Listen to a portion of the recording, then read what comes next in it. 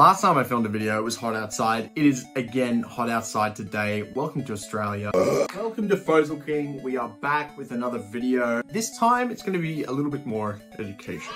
This is type matchups for dummies like yourself. Just kidding. This is how I make sense of type matchups in my head.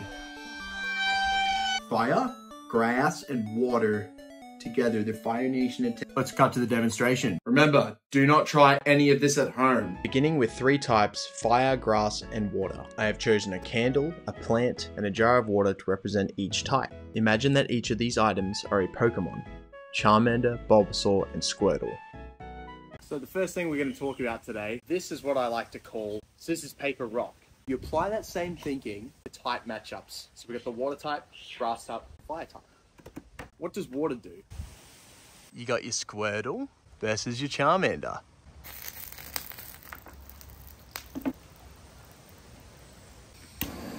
Then you got your Charmander versus your Squirtle. You crank the heat as much as you want. Nothing's going on. Water beats fire. So what happens when you use water on a grass type?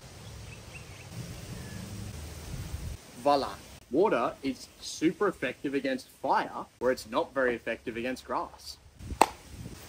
Okay, so what about grass versus the other two? When grass meets water, it grows.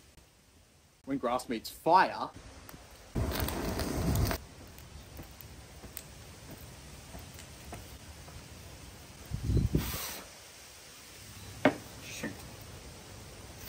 What about fire versus grass?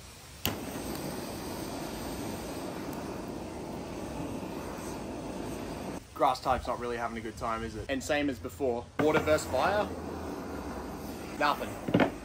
So hopefully that kind of demonstrates why certain types resist others, whereas others are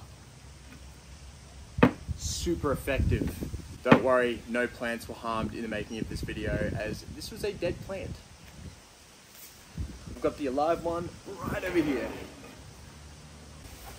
Thank you for tuning into my channel. If you want more information about type matchups, let me know in the comments. I'll do some more videos about them. Don't forget to like the video. Don't forget to leave a comment. Don't forget to subscribe. First looking out, baby.